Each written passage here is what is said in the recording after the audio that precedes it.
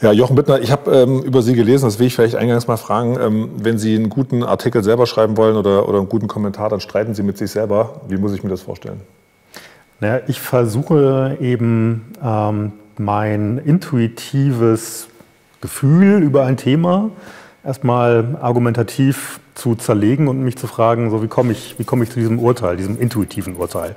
Wir haben ja alle schnell intuitive Urteile. Und dem finde ich, muss man erstmal misstrauen, dem intuitiven Urteil, äh, weil es natürlich gefärbt ist durch Subjektivität, durch äh, eigene Interessen. Und deswegen ähm, diese Idee vom Streiten mit sich selbst, also ich möchte mich selbst bezweifeln. Ich möchte mein Urteil erstmal selbst bezweifeln. Und wenn ich das getan habe und dann doch bei dem Urteil bleibe, dann finde ich, kann man es gut nach außen vertreten. Aber ähm, also ein gewisses Maß an Selbstprüfung, finde ich, macht ein Kommentar erst gut. Haben Sie sich bei einem Thema mal selber überrascht? Ich war am Anfang offen gesagt skeptisch bei der Kommentierung ähm, des äh, Bundesverfassungsgerichtsbeschlusses zum sogenannten dritten Geschlecht, also dem Eintrag divers weil ich mich gefragt habe, ist das Problem relevant? Und dann habe ich mich äh, informiert über das Schicksal von intersexuellen Menschen und bin zu dem Schluss gekommen, das sind zwar recht, recht wenige, aber unser Rechtssystem soll auch Minderheiten schützen. Und deswegen fand ich äh, diese verfassungsrechtliche Diskussion dann doch nicht zu hoch gehängt und habe äh, kommentiert, dass dieses Urteil sehr, sehr zu begrüßen ist. Also auch intersexuellen Menschen oder Menschen mit Geschlechtsdysphorie ähm, ihren Platz in der Rechtsordnung einzuräumen. Das habe ich dann, ähm, äh, dem habe ich applaudiert, äh, weil ich fand, das ist ein echter gesellschaftlicher Fortschritt. Ähm, Herr Bittner, dann haben Sie eigentlich was gemacht, was, äh, was man eigentlich als guten Handwerksgriff äh, bezeichnen würde. Sie haben recherchiert, haben sich eine Meinung gebildet und dann darüber berichtet. Also haben Sie doch eigentlich alles richtig gemacht. Ähm, ja, wobei eine Recherche ist ja nie zu Ende. Ähm, wir haben als Journalisten alle Deadlines, bis zu denen wir uns Urteile bilden müssen. Und ich glaube, wir haben es alle schon erlebt als Journalisten, dass sich je nach Faktenlage, die man gerade recherchiert hat, äh, je nach Standpunkten, die man gehört hat, der eigene Blickwinkel, das eigene Urteil auch wieder etwas verschoben hat. Und ähm, das hört ja in Wahrheit selten auf. Also das ist ja auch das Schöne am Journalistenberuf, dass man immer wieder im eigenen Urteil verunsichert wird. Und man kann, glaube ich, nur versuchen, ähm, sich so weit und so schnell wie möglich ähm, zu hinterfragen, dass man dann ein Urteil abgeben kann, hinter dem man stehen kann, äh, dass man auch bei Anfechtungen noch gut begründen könnte. Es gibt ja dieses Standardzitat von Friedrichs, ein guter Journalist macht sich nicht mit einer Sache gemein, auch nicht mit einer guten. Gilt das heute noch? Das würde ich im Prinzip unterschreiben. Es gibt so ein paar Sachen, das ist die Frage, wie man die definiert, mit denen würde ich mich durchaus gemein machen. Also es wäre ja geradezu paradox, wenn ein Journalist sich beispielsweise nicht mit der Pressefreiheit gemein machen würde und äh, dafür im Notfall auch nicht demonstrieren würde. Ähm, ich würde sagen, es wäre auch äh, mit meinem Verständnis von einem aufgeklärten Journalismus nicht zu vereinbaren, wenn ich mich nicht für die tatsächliche Gleichberechtigung von Geschlechtern stark machen würde oder ähm, für gleiches Wahlrecht. So, also ich finde, es gibt äh, bestimmte Standards, zivilisatorische Standards, äh, hinter die dürfen wir nicht zurück. Ähm, und insofern würde ich dann sagen, mit solchen Standards darf man sich auch gemein machen. Mhm. Jetzt haben Sie ja gerade, was die Pressefreiheit angeht, an, im Prinzip so ein so ein Prozess oder so, ja, was Strukturelles angesprochen. Wenn ich Friedrichs äh, so interpretiere, geht es ja da wahrscheinlich eher um, um die Frage, sich mit inhaltlichen Dingen gemein zu machen. Ähm, ab wann ist denn da aus Ihrer Sicht eine Grenze erreicht? Also ich würde sagen, man muss als Journalist immer den Versuch unternehmen, ähm, alle politischen Blickwinkel, Interessen äh, mit, dem, mit der gleichen Kritik zu betrachten, mit ähm, dem gleichen kritischen Maßstab zu prüfen. Und ich glaube, dass Hajo Friedrichs das damit meinte, dass man sich mit einer Sache nicht gemein machen sollte. Und das ist eine Idealvorstellung. Also lege ich an sämtliche Politiker, lege ich an sämtliche politischen Fragen und Ideen denselben kritischen Maßstab an. Ähm, ich glaube, das sollte man versuchen als Journalist. Man sollte sich aber auch keine Illusionen darüber machen, dass das selten ideal gelingt, denn äh, als Mensch ist man kein Neutrum, man ist ja selbst nicht politisch neutral. Man hat selbst Überzeugungen, die das Urteil prägen oder trüben auf eine gewisse Weise. Aber den Anspruch, finde ich, den sollte man wenigstens haben, ähm, so universalkritisch wie möglich äh, Menschen, Themen, politische Ideen zu betrachten. Also ich frage das natürlich auch, weil es inzwischen natürlich Beispiele gibt, die äh, sagen wir, gewissermaßen auch äh, als herausragende Beispiele gelten. Nehmen wir mal prominente öffentlich-rechtliche Personen wie eben Georg Restle oder auch Anja Reschke, die beziehen inzwischen sehr publikumswirksam Positionen. Sie sagen auch, neutral zu berichten, das reicht heute nicht mehr. Wie sehen Sie das denn? Ich verstehe das Argument, wenn man sagt, ähm, die Demokratie ist gefährdet und deswegen, es gibt bestimmte Demokratiegefährder oder auch ähm, Gefährder der freiheitlichen Ordnung. Und wenn man über die neutral berichtet, dann macht man quasi deren Geschäft. Also man streicht die ähm, sozusagen mit einer Normalität an, die sie nicht verdienen. Das Argument verstehe ich, ich halte es aber trotzdem für falsch, denn meine Idee wäre, wenn ich diese Akteure, äh, gegen die manche einer jetzt glaubt, einen besonderen Aktivismus entfalten zu müssen, wenn ich die schlicht mit dem kritischen journalistischen Blick bedenke, mit dem ich, mit dem ich alle bedenke, dann kommen diese Leute, diese äh, sagen wir Zerstörer, kommen deutlich schlechter weg. Und ähm, das halte ich für meine Aufgabe als Journalist. Gleicher kritischer Maßstab für alle. Wenn einige dann verletzter am Boden liegen als andere, dann ist es deren Schuld. Und das wird dann auch den Leserinnen und Lesern auffallen. Und ich glaube im Gegenteil, wenn man also sozusagen außerjournalistischen Aktivismus betreibt, dann schadet man dieser Art von Journalismus selbst, weil die Zuschauerinnen und Zuschauer einem dann nicht mehr abnehmen, dass man mit dem gleichen Maßstab von Kritik an alle rangeht. Also über die Frage der Glaubwürdigkeit oder beziehungsweise auch die Konsequenz, die aus sowas äh, daraus erwächst, also nämlich äh, was macht das mit der Glaubwürdigkeit, würde ich auch gleich gerne noch mit Ihnen sprechen wollen. Ich möchte aber ganz kurz nochmal auch bei, bei gerade beim Herrn Restler bleiben, weil natürlich ähm, das überhaupt nur große Schlagzeilen gemacht hat durch seinen Auftritt auf dieser Demo. Sie haben das Wort Aktivismus ja auch gerade selber schon ins Spiel gebracht. Ist das für Sie akzeptabel, wenn jemand, der also ein Millionenpublikum bedient, als Redner auf einer äh, sag mal, Großkundgebung auftritt und da auch klar Position bezieht, weil eben die Leute ja wahrscheinlich die Rolle nicht mehr von der Privatperson trennen? Dann? Hm. Ich finde es nicht richtig. Ich ähm, äh, würde Herrn Restler als Privatbürger nie das Recht absprechen, das zu tun. Nur ähm, er steht ja auch für eine Institution, also für den öffentlich-rechtlichen Rundfunk. Und bei dem gelten eben nochmal besondere äh, Ausgewogenheitspflichten. Ich meine, ich arbeite für die Zeit, das ist ein privatwirtschaftliches Medium und ein Tendenzbetrieb. Also wir, wir dürfen eine bestimmte politische Neigung sogar haben und zeigen. Äh, weil wir uns eben am Markt ähm, bei unseren Lesern eine Nische suchen müssen. Das, für uns muss man bezahlen, beziehungsweise muss man nicht, kann man bezahlen. Für den öffentlich-rechtlichen muss ich bezahlen. So, und aus dieser privilegierten wirtschaftlichen Stellung würde ich äh, eine besondere Pflicht ableiten ähm, für den Versuch, objektiv zu berichten. Man kann nicht objektiv berichten, aber man kann den Versuch unternehmen, das Weltgeschehen objektiv zu betrachten. Und in dem Moment, in dem ich mich selbst zum, zum Subjekt äh, des Weltgeschehens mache, indem ich auf eine Demo gehe, äh, wechsle ich komplett die Rolle. Und Herr Restle ist ja jemand, der auch für die Berichterstattung über genau solche Themen äh, zuständig ist. Ähm, und wenn ich auf eine Demo gehe, die im Grunde zu meinem Gerichts Berichtsgebiet gehört, als gesellschaftliche Auseinandersetzung, äh, dann finde ich das eine Rollenüberschreitung als Journalist. Aber verstehe ich Sie denn richtig, dass es was anderes ist, ob jetzt zum Beispiel Herr Restle eben auf einer Demo auftritt oder Frau Reschke ein Buch schreibt, in dem relativ deutlich Position bezogen wird, weil sie eben ja. öffentlich-rechtliche ja. Personen sind und auf der anderen Seite beispielsweise Journalisten bei Pro7, also auch bei dem privaten Betrieb, nach einem Interview mit Annalena Baerbock Applaus klatschen? Ja, da würde ich wirklich Unterschiede machen. Ähm, also ich finde, das Applausklatschen nach einem Interview ähm, geht natürlich nicht, weil äh, das ja äh, eindeutige Parteinahme ist für eine Politikerin. Ähm, ein Buch zu schreiben, über dem man seine eigene Überzeugungen ausbreitet, das finde ich etwas ganz anderes, denn damit stellt man also eine transparente Subjektivität her. Man sagt, guck mal, für das stehe ich.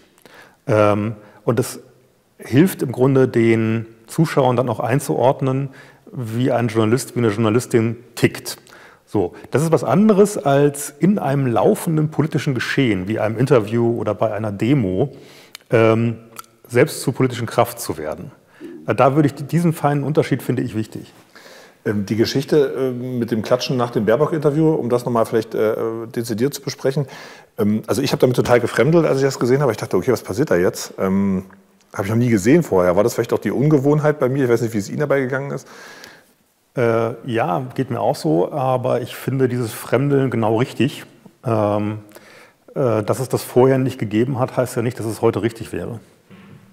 Äh, vielleicht noch mal eine Frage zu dem Komplex. Nemi El Hassan, äh, eine junge Frau, die ähm, ja im Prinzip auch für den Öffentlich-Rechtlichen eine Sendung moderieren sollte zumindest, die hat ihre Vergangenheit, ihre aktivistische Vergangenheit, um es mal so zu formulieren, eingeholt. Sie war lange Jahre vorher auf einer Demo ähm, hat da ähm, nicht mal, glaube ich, gesprochen, sondern ist da eben nur mitgelaufen, hat dann im Grunde genommen eine Konsequenz kassiert, nämlich diese Sendung ist nicht durch sie besetzt worden. Ähm, Herr Restle ist nach wie vor im Geschäft. Ähm, wie lange, oder also ich weiß gar nicht, wie ich es ausdrücken soll, aber dieses Private, ne?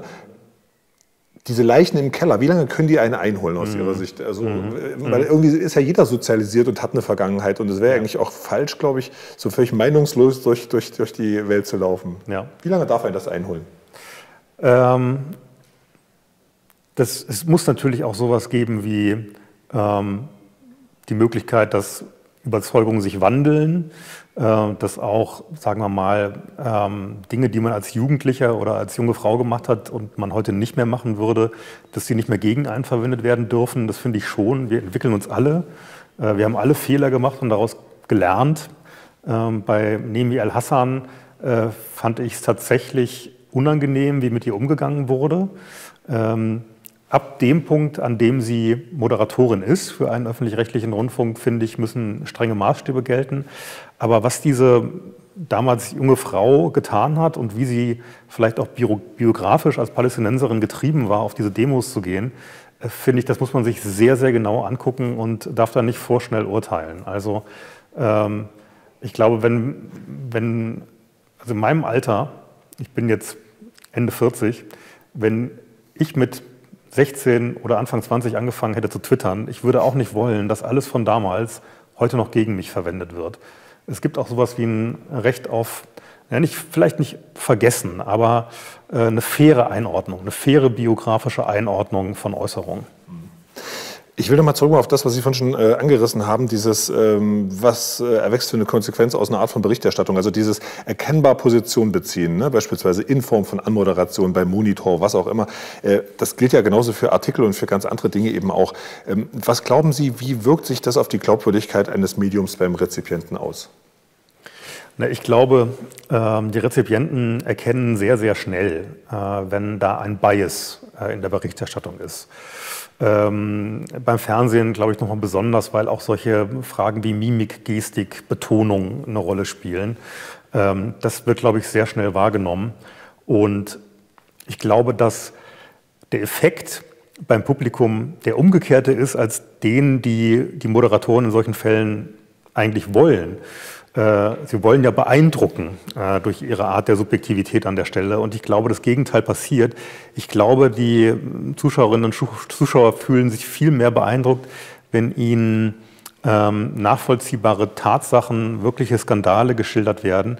Und die brauchen dann nicht nochmal das vorgelegte oder draufgelegte Urteil der Moderatoren spannend, was Sie da sagen, weil im Prinzip, das ist ja im Prinzip auch das, was man jetzt ähm, in der Kritik oft äh, mitbekommt. Also man hat auf diesen Vorwurf gerade den großen Pressehäusern gegenüber, ähm, die sagen ja, was sein soll. Ja, also mhm. dass diese, diese, können Sie das, diese, dieses Gefühl mhm. der journalistischen Bevormundung nachvollziehen? Ist das ein Trend, den Sie auch erkannt haben? Ja, es gibt so einen gewissen Trend zur Pädagogisierung des Journalismus. Also, ähm, dass es nicht mehr reicht, einfach zu sagen, was ist, äh, sondern dass man auch gleich sowas wie eine ethische Handlungsanweisung mitliefert oder zumindest ähm, versucht, die Zuschauer so ein bisschen in eine gewisse äh, Richtung zu pushen. Ähm, habt, ihr jetzt, habt ihr jetzt begriffen, was richtig ist? So. Und ich glaube, dass das nicht gut ankommt, weil äh, niemand wird ja gerne als, als Schüler behandelt von, von Gleichaltrigen oder von Leuten, die wissen, meinen, sie wüssten es besser. Ähm, ich glaube, überzeugen tut man anders. Überzeugen tut man dadurch, dass man einfach gute Argumente präsentiert. Aber dieser, dieser Hang, ähm, wie ein Lehrer zeigen zu müssen, was das falsche Denken ist, ich glaube, das geht eher nach hinten los. Das ist ja spannend, weil Sie da jetzt schon den Bogen eigentlich zu dem schlagen, was, was sich auch äh, ganz dringend äh, zu besprechen lohnt, nämlich die, die Form der Berichterstattung an vielen Punkten. Also um nochmal diese Kritik aufzugreifen, man hat das natürlich jetzt bei Corona ganz krass erlebt, dass also da die, die Kritik äh, groß war, dass viele Nutzer sich da zum Teil falsch informiert gefühlt mhm. haben. Also wir wollen jetzt gar nicht über False Balancing sprechen, aber die Tatsache, dass natürlich die Leute da ähm, das Gefühl hatten, okay, jetzt wird mir schon gesagt, was gesagt werden soll, und es kommen ja nur die zu Wort, die irgendwie pro Regierung sind. Das waren ja so lose Argumente. Aber andere äh, Beispiele möglicherweise auch Klimawandel, weiß nicht, ob Ihnen das auch so geht, hatte ich den Eindruck, dass da auch die Kritik heftig war, die Flüchtlingsbewegung. Gendern war auch ein großes Thema. Mhm. wie berechtigt war oder ist denn diese Kritik aus Ihrer Sicht äh, der Mediennutzer, dass da, also gerade bei solchen Themen, die ja doch einschneidend in so einer Gesellschaft sind, ähm, möglicherweise zumindest unterstellt wird, das ist zu tendenziös? Mhm. Also ich rede jetzt mal aus Sicht von Journalisten ne, und beschreibe mal das Problem aus, aus deren Warte. Ähm, all die Beispiele, die Sie genannt haben, also Migrationskrise, Corona, Klimakrise, das sind alles Fragen, bei denen es um Leben und Tod geht. Die sind also moralisch hoch, hoch aufgeladen. Ähm, wenn man sich da bei, einem gewissen, bei einer gewissen Frage positioniert, dann kann man sich den, den Vorwurf einhandeln, man sei menschenfeindlich, man sei zynisch, man sei egoistisch. Also das sind eine ganze Reihe von, von Maximalvorwürfen, ähm, denen man sich ausgesetzt ist, sobald man beispielsweise bezweifelt, ob es eine gute Idee ist, dass private Seenotretter äh, im Mittelmeer das tun, was sie, was sie tun. Nämlich auch, ein Anreiz, auch einen Anreiz setzen für Schlepperwesen. Oder indem man fragt, ob es so eine gute Idee ist, äh, beim Klimawandel aus der Atomkraft auszusteigen. Oder indem man fragt, ob es immer noch eine gute Idee ist, äh, jetzt Corona-Krise ähm, auf, ein, auf eine Impfpflicht zu setzen. So, bei all diesen Fragen ähm, kann man sich als Journalist leicht in das Lager der, der Zyniker, der Menschenfeinde, ähm, der Egoisten gedrängt sehen. Und auf der anderen Seite die Position einnimmt, lieber Vorsicht walten lassen, lieber die Grenzen auf, lieber äh, maximalen Klimaschutz, dann setzt man sich diesen Vorwurfmöglichkeiten nicht aus. So, deswegen gibt es, glaube ich, eine gewisse psychologische Neigung, äh, sich eher zum Team Vorsicht zu schlagen bei all diesen Fragen. Aber ich finde, als, als Journalisten müssen wir eben auch diesen anderen Fragen Raum geben. Nicht, weil ich die unbedingt richtig finde, sondern weil ich die Erörterung richtig finde. Aber ähm, heißt das denn im Umkehrschluss, dass das existenzielle Fragen sind, weil jemand, der als Journalist arbeitet, möglicherweise schon die Schere im Kopf hat, äh, aus, aus, aus der puren Angst heraus, dass wenn er mit einer möglicherweise ähm, ja, ich sag mal, schwierigen oder entgegen den Strom äh, laufenden Meinung äh, Gefahr läuft, ähm, nicht mehr eingekauft, gebucht oder beschäftigt zu werden? Ja, also jetzt spielen Sie an auf die Frage Cancel Culture. Also besteht die Gefahr, dass man sich durch eine gewisse Position äh, wirklich so ins Knie schießt, dass man um seinen Job fürchten muss. Ähm, das Argument verstehe ich gerade bei den öffentlich-rechtlichen nicht. Ich meine, äh, da ist man doch nun wirklich ähm, gut abgesichert. Ich verstehe es auch bei gestandenen Journalisten eines gewissen Alters nicht. Die sind auch sehr gut abgesichert. Die interne Pressefreiheit ist ein hohes Gut, ist ja auch gerichtlich so geschützt. Also da muss schon viel passieren sozusagen, ähm, bevor man da mit solchen Konsequenzen rechnen muss. Das ist für mich eigentlich eher eine Frage der Binnenpluralität. Ähm, ich glaube, es gab eine Umfrage unter den Azubis und Volontären der ARD. 90 Prozent würden SPD, Grüne, Linke wählen.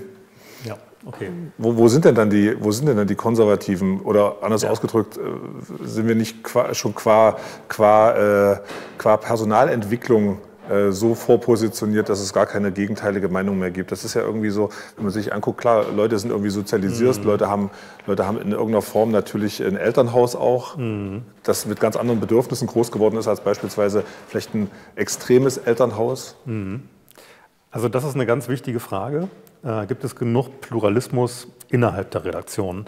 Und ich finde, um die Frage zu beantworten, muss man mal gerade 20 Jahre zurückblenden. Was wir nämlich immer vergessen ist, es gab nach 9-11 gab es ein äh, Journalistensterben in wirtschaftlicher Sicht, wie es das noch nie gab in Deutschland. Es sind wahnsinnig viele Journalisten entlassen worden. Äh, es gab immer weniger Stellen, weil die Werbeeinnahmen weggebrochen sind bei den Verlagen, weil sich viele existenzielle Sorgen gemacht haben. So, und ähm, sagen wir mal, dieses, ähm, diese wirtschaftliche Prekarität, die da eingebrochen ist in die Branche, die hat Auswirkungen bis heute. Weil natürlich, wer, wer wird Journalist, äh, wenn er weiß, das ist ein äh, im Beschäftigungsverhältnis prekärer Beruf, der zweitens nicht mehr so toll bezahlt ist wie früher und der drittens auch nicht mehr das Sozialprestige mitbringt wie in der vordigitalen Zeit. So, ich glaube, dass so eine Berufsbeschreibung eher junge Menschen aus dem linken, sprich eher aktivistischen Lager anzieht, als eher bürgerliche ähm, Jugendliche, äh, denen Sachen wichtig sind wie ähm, schneller geregelte Arbeitsverhältnisse, ähm, gutes Einkommen, wirtschaftliche Sicherheit und die, die dafür, sagen wir mal, ihre, ihren politischen Aktivismus lieber zurückstecken. Das heißt, ich glaube, dass die äh, mangelnde Pluralität im Journalismus zusammenhängt mit den wirtschaftlichen Umständen, mit den wirtschaftlichen Fahrwassern, in denen sich Journalismus mittlerweile bewegt. Das ist hochspannend. Ähm, ich würde mal fragen, weil dieses Thema wir haben es schon mal angesprochen, diese, diese, diese Ausgewogenheit der, der Themen und auch der Positionen.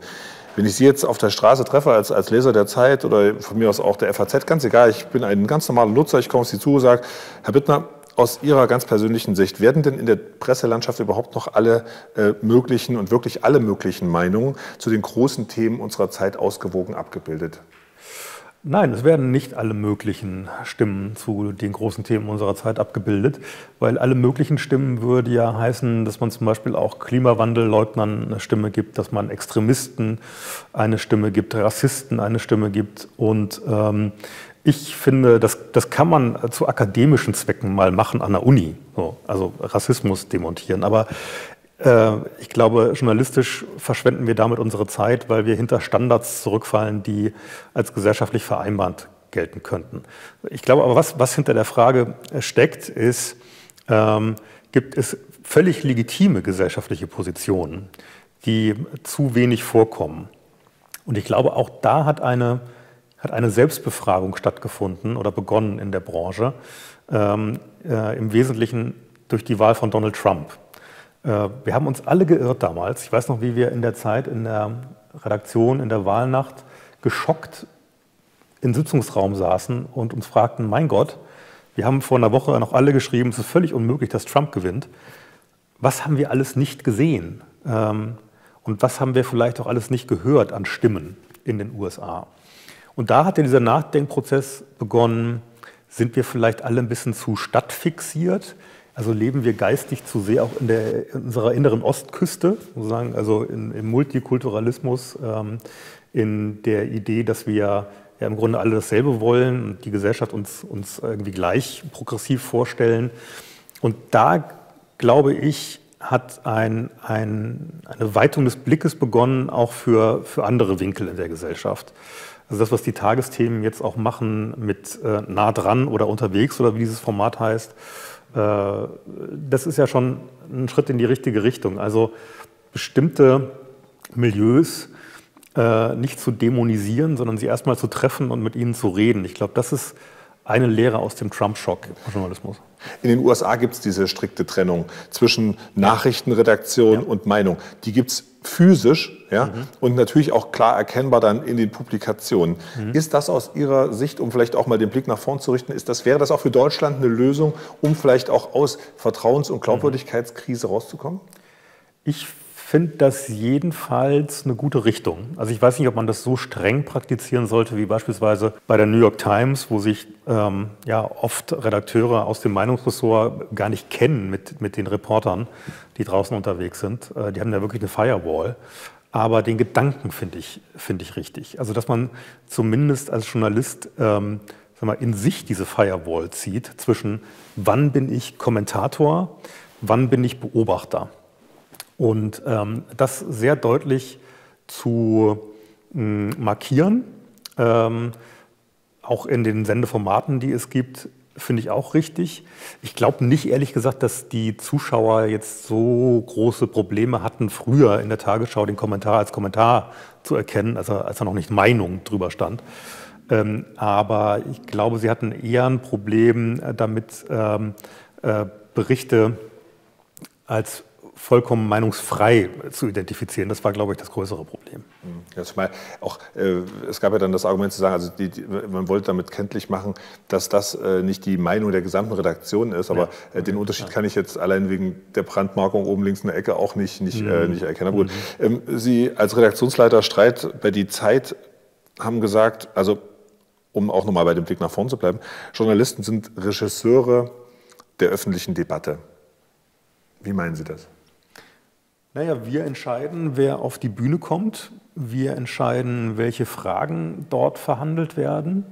Und insofern sind wir schon Regisseure für das Setting. Ich meine, was dann gesagt wird, das, äh, das bestimmen wir natürlich nicht. Aber ähm, wir sagen, was da läuft auf der Zeitungsseite oder in der Sendung. Insofern ähm, schaffen wir die Voraussetzungen für inhaltliche Diskussionen.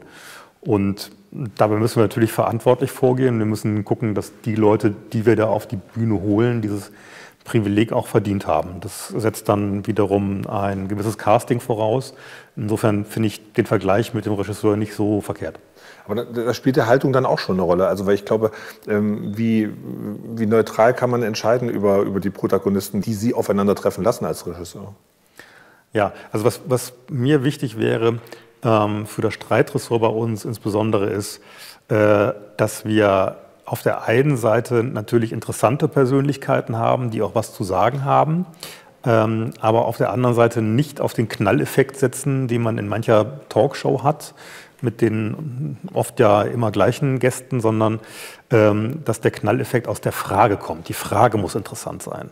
Äh, die Frage muss etwas sein, in die man sich vertiefen möchte, die man kontrovers diskutieren möchte. Und da dürfen dann im Zweifel Qualitäten wie äh, äh, ja, Rampensauartigkeit oder äh, eine gewisse Selbstverkaufe weniger eine Rolle spielen. Also ich sage mal, das Schöne an unserem Format ist, dass wir gerade nicht live senden, dass man sich dann nicht bühnenmäßig verkaufen muss, sondern dass man mit dem Argument glänzen darf. Und äh, das ist, glaube ich, eine zunehmende Aufgabe für Journalismus, äh, weniger die prickelnden Figuren äh, auf die Bühne zu holen, als die prickelnden Fragen auf die Bühne zu holen. Wie, wodurch stellen Sie das denn sicher bei sich im Platt, dass, äh, dass da nicht so einseitig berichtet wird? Also ähm, wir haben jetzt über Personalentwicklung, über Binnenpluralität gesprochen, aber ich meine, Sie erleben das jeden Tag in der Praxis. Wie stellen Sie sicher, dass Sie, wenn Sie vielleicht an einem Tag Meinung A abgebildet haben, dann vielleicht am nächsten Tag oder idealerweise noch im, im gleichen, in der gleichen Auflage mhm. äh, Meinung B abgebildet haben? Denn gewissermaßen Sie müssen ein Erfolgsrezept haben. Ihr Blatt ist eines der wenigen, das noch äh, bei der gedruckten Auflage zugelegt hat. Mhm. Mhm. Also wir bemühen uns ja schon in den Formaten immer beide Perspektiven abzubilden. Deswegen haben wir als festes Format bei uns im Streit das Streitgespräch mit mindestens zwei Akteuren oder ein Pro und Contra mit verschiedenen ähm, äh, Positionen. Und dann haben wir einen Essay, in dem man in Ruhe mal seinen Punkt machen darf. Also das ist so die Idee, wenn jemand im Streit sagt, lass mich mal ausreden, dann wollen wir dem oder ihr die Möglichkeit bieten, eben mal auf einer fast ganzen Zeitseite eine Argumentation auszubreiten. Hm, was natürlich auch wieder Widerspruch erzeugt und im besten Falle bekommen wir dann auch einen Widerspruch für eine der Ausgaben darauf. Äh, wo jemand genauso elaboriert, genauso in Ruhe ähm, seine Sicht der Dinge schildern kann. Und trotzdem stelle ich mir das ja vor, wir haben ja vorhin über diese Sozialisierung gesprochen, über diese, aus welchem Milieu kommt jemand, der Journalist wird. Und ich stelle mir das auch unfassbar schwer vor, jetzt mal Sie auch als Führungskraft, als Entscheider gefragt. Also ich weiß nicht, äh, klar, Sie, Sie greifen natürlich auf Autoren zurück, die gewissermaßen schon ein Standing haben. Auch das macht man natürlich, weil man eine gewisse Auflage oder eine gewisse äh, Relevanz erzeugen will. Aber ähm, ich sag mal, jetzt sitzt einer vor Ihnen, der ist erkennbar, mhm. vielleicht kein, mhm. kein AfD-Wähler, ja, mhm. aber ist mir handwerklich ein sauberer Journalist mhm. und besetzt eine sehr konservative, mhm. vielleicht eine sehr rechte Position. Hat der de facto eine Chance, bei Ihnen durchzukommen? Der, der hat eine Chance, bei uns durchzukommen. Also äh, sehr rechte Position müsste man mal schauen. Also die Zeit ist ein liberales Blatt. Ähm, das äh, wäre etwas, was man natürlich sehr genau prüfen würde. Aber wenn das plausibel dargelegt ist, äh, wenn es redlich argumentiert ist, Ähm, warum nicht? Und ähm, Grenzen würde ich da ziehen, wo wir über Populisten reden, wo wir über offensichtliche Menschenfeindlichkeit reden. Ähm, aber ich, wir hatten zum Beispiel auch, äh, weil Sie darüber reden, wer hat eine Chance bei uns? Äh, uns hat auch schon mal ein Lehrer kontaktiert, der sagt, Mensch, mir fällt auf, in meinen Schulklassen, die ich unterrichte, so Oberstufe, herrscht ein solcher Pessimismus äh, über den Zustand der Welt vor. Ähm, viele meiner Schüler denken wirklich, sie werden nicht alt wegen der Klimakrise. Ich würde hier gern mal gegenhalten. Ich würde gerne mal eine andere Perspektive aufmachen und, und meinen Schülern sagen und vielleicht auch noch mehr Schülern sagen, es gibt auch viel Grund für Optimismus. Und das hat er gut durchargumentiert. Wir haben das sehr genau geprüft, all seine Argumente, auch mit Hilfe unserer Wissensredaktion. Und ich bin froh, dass jemand auch mal so ein Ideenfenster aufmacht. Äh, es ist ja nichts Verbotenes, sondern wenn man gut argumentiert, plausibel und bei den Fakten bleibt, warum sollte man die Positionen nicht vertreten dürfen?